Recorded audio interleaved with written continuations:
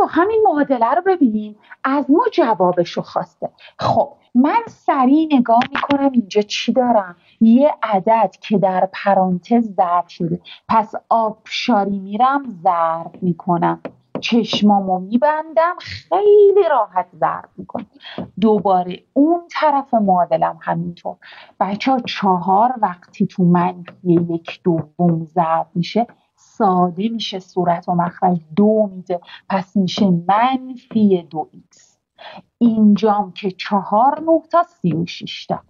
حالا از اینجا رو گوشتو بده به من. حواستو جمع کن.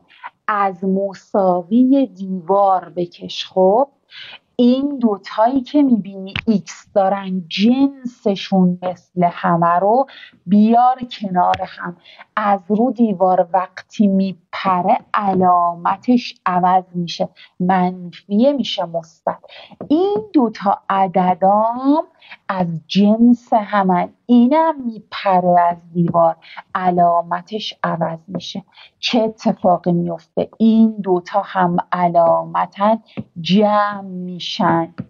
این دوتا علامتاشون فرق می‌کنه کم میشن.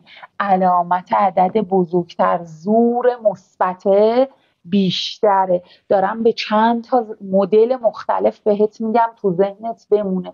نگاه کن اینا مهره های سفیدن اینا مهره های سیاه. به جنگن سفیدا برندن چون تعدادشون بیشتره.